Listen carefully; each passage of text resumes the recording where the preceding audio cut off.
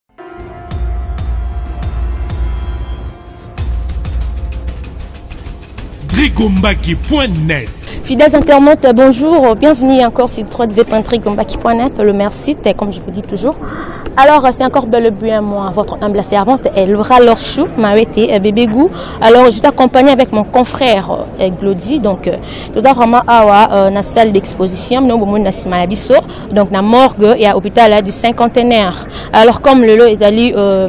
corps ya papa wemba ekoya eye vraiment déjà baza déjà na nzela biso tozalaki awa vraiment mpo toza vraiment awa mpo tozela bango ti bakoya bakotisi corps na morgue mpo tokozwa bainterview ya quelques musiciens ensemble avec mon confrère qui à ma droite donc euh, c'est encore bel et bien moi donc bozwa vraiment en exclusivité ka nde tolobaka na bino alors là je donne pour ne pas monopoliser ma parole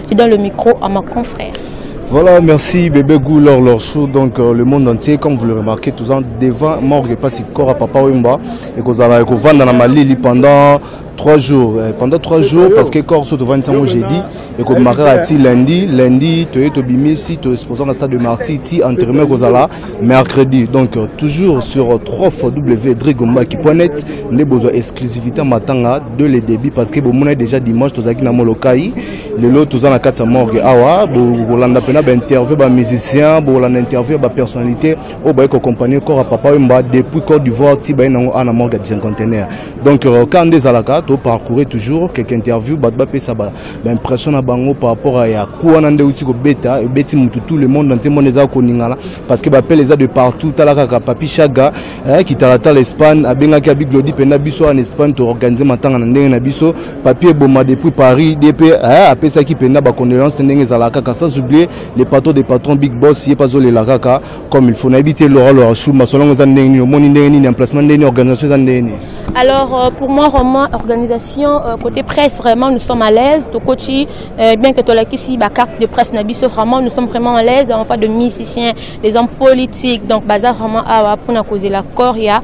le kumani le grand musée papa wemba donc vie ya basaper ebele oyo oh, yannick mlela tuninga binanga lora to wana bato bakolobela biso te côté forme alors que faire donc liwa de jésus biso vraiment toza ah vraiment ensemble mpo na kozwa bino vraiment baimage en exclusivité alors euh, papi le roi tozolela vraiment euh, vie na biso euh, vie na nga matuda tozolela vraiment le vieux ekumani papa wemba tokozwa bino vraiment baimage en exclusivité alors je vous dis de ne pas zapper de rester toujours branché mpo bozozwa vraiment baimage en exclusivité kaka na trigombaki mpo net ala déjà je dis déjà un grand merci à trigombaki mon boss merci donc voilà A plus. toza na président jdt mulopwe yo bapopi boni papa kovanda nde buka ah, ça va eh. bien nayebi te eh, kora papa oyo mokomi deja na kin baimpression no par rapport ani ndenge omoni organisation nde mambo ezokendele soki ozanga baimpression par rapport ya mambo wana bon organisation na report namoni deja mwa bamobulu mobulu nazobanga ke mobulu yango ekoni neti na suka donc nalingi vraiment ezala na ndenge ya bien eleka na ndenge ya bien ezala vraiment eh, ezala na mwa eza structuré mpo aéroport déjà esali kote moko boye porte ebukani bato fai babima awa awa te bon eza déjà matanga motu monene tomi kosala yango ezala ezala vraiment bien programme ezala mpena euh, respecté en fait voilà, parce que ata so balobi a mpe bato basali b basali c donc ezala mpena a a b b c c e ça bien tomonaki na matanga mari misambo baartiste ya musique chrétienne baserenaki basalaki bareunion mpo organisation ya matanga eleka bien est ce que bino mpe bamusicien profane nde tobengaka bino est ce que bozwi mpe temps ya kovanda mpo bose prépare mpe matanga mpe eleka bien ndenge ezala en tout cas namoni te place moko réunion esalamaki ke efai tokuta na réunion euh, namoni yango te nayoki yango mpe te malheureusement mais or efai tosala yango mais tosali yango te mais bon Euh, espérons que le bien quand même na negra toza bato eh, na ndenge respect oyo toya nango mpona papa wemba biso moko déjà na osala ke tosala ke ezala bien voilà. est ce que tozwa mwa hommage ya papa wemba na mwa motiso moko ya papa wemba esala bien douleur na motema na préféré nalela ya kobatama noki baloba palarme ya krokodile o oh, o oh. moto aza mordu na sango ya liwa asali hemoraji ya esanga atikali kaka na mawa mm. Voilà, merci beaucoup. Donc, euh, bon, mon abongo, j'ai été moulé pour la popi. Donc, euh, toujours continuer toujours dans le monde entier. Voilà, donc, comme vous remarquez, plein et ça a craqué. Donc, bah, qui n'a pas les papa, oui, madame, on s'est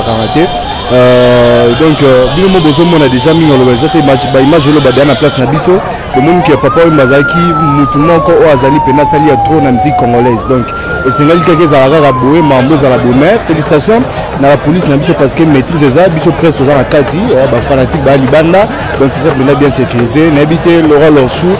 masolo yango yango oyo bana kin plein déjà libanda nayebi de arrivé déjà ya badélégation déjà ezoya déjà awa na kati ya morgue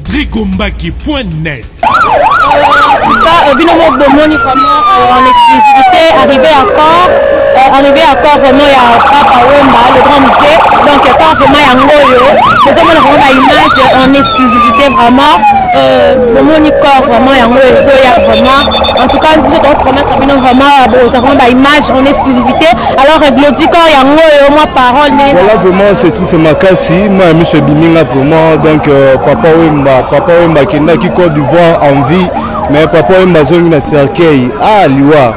liwa vraiment donc euh, c'est vraiment pas c'est ça pena passe na motema ba le monde entier toujours sur on est visité sur 3 fois www.mbaki euh, ne, ne, ne zappez pas de nous appeler vraiment dans ces numéros qui est affiché vraiment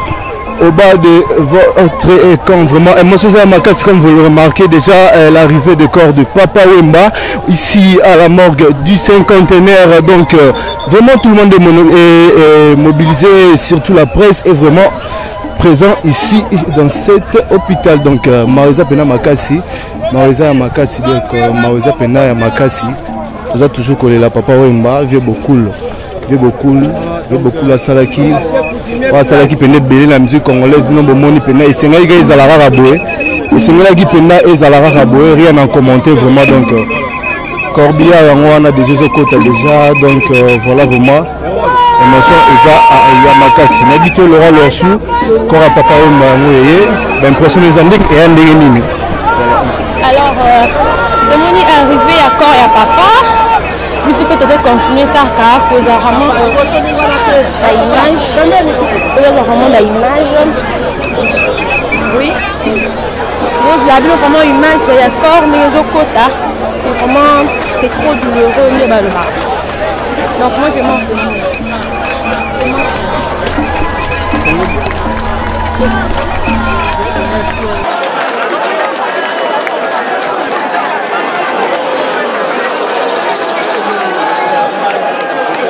alors euh, donc nde bino moko bomoni na cadre kaka ya ebembe nde touti tozela tozeli corps ya papa wemba le vieux kumani donc toza awa vraiment na chaka kongo apesa baimpression na chaka kongo bonjour bonjour bonjour ma fille alors euh, tomoni awa na morgue ya papa wemba bisaso na souvenir nini yo garde ya papa ngai nayi matanga papa wemba te oye wapi ngai matanga papa wemba te mpo na nini non naye naza kuna te naza kuna te sikoyo pourquoi nanu premièrement oza kuna te mpo na nini toyeba déjà bon awa naye koprofite occasion ya bamusicien congolais balingaka matanga nous avons un cas qui est très sérieux malembe champ et mourant ici ouais. trois semaines asali awa nazolaka batélévision monsieur félix wazekwa euh, shulai senado euh, sampayo e moketonga yango na profite occasion babima na matisa mpo batala moninga muninga azobela c'est le moment tobelisa muninga azobela malembe chant malembe chant aza malade aya na koma el chanto yango aza occasion nazwa bango bakitala muninga me bakonzi yango malembe chant c'est le moment bosoutenir likambo malembe chant kaka babibembe tolembi yango tolembi yango Toi, la soeur Kakokodioko, on ne sent pas l'intéressant des artistes. banda kokodioka azwa liboma na scène mpe baartiste akendaka bango te mais soki okisaka banani kodio akufi baye na matanga malembe cha azaka likolo awa trois semaines lisunu ezali te si je comprends bien yo oyaki na euh, bembe kozwa accueillir corps te non ngai naza kuna te naza kuna te oza te pourquoi là on organise non naza kuna te parce que là il a l'argent dès le premier jour papa mbakufi na 5 30 6 30 comité d'organisation esalami tomona matanga entre imiko et ministre activité des arts pour votre information papa wemba azalaki vice président imiko c'est l'imiko qui devait organiser matanga oyo bango ministère wana apui mais na mbona boye kokota polémique j'ai vu déjà des choses euh, euh, louches en tout cas tous les temps azalaka opposé éternel en tout cas vraiment c'est ça que j'ai évité ah, ok merci cher merci, merci. voilà nasi mpena botali mpena intégralité ya arrivé ya corps ya papa wemba awa na kati ya morgue ya hôpital bicentenaire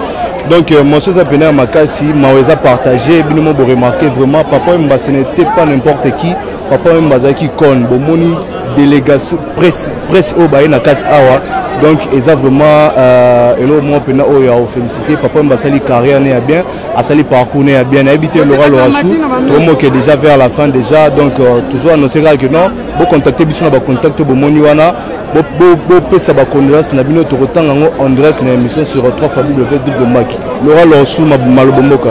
Euh, ok, euh, euh, fidèles internautes, bino mon bomoni vraiment, euh, tous les bino ba image, bomoni ba image, euh, ya arrivé ya corps, ya papa Wemba, euh, ti awa na ndako ya Malili, donc na mort, donc place ba bomba nzoto na ye. Alors euh, donc euh, je, moi je, je manque des mots parce que Papa Wemba c'était un c'était un icône. Ah otika akufi vraiment akufi vraiment bongo en plein concert. Donc ndeka na lobaki na lobaki dans un champ de bataille vraiment donc euh, donc moi je, je mens même de mots à Dieu là je remercie toutes les fidèles des internautes au balandi biso vraiment de même nos ba image bozu bo moni vraiment image en exclusivité alors euh, je manque des mots je remercie tout le monde. Ouais. donc bo comprendre vraiment émotion eza ya makasi émotion eza vraiment ya makasi mais tosuki awa te tokutana na bino na baintervention ezali koya bozala toujours branché sur 3 fois w drigombaki net donc à la prochaine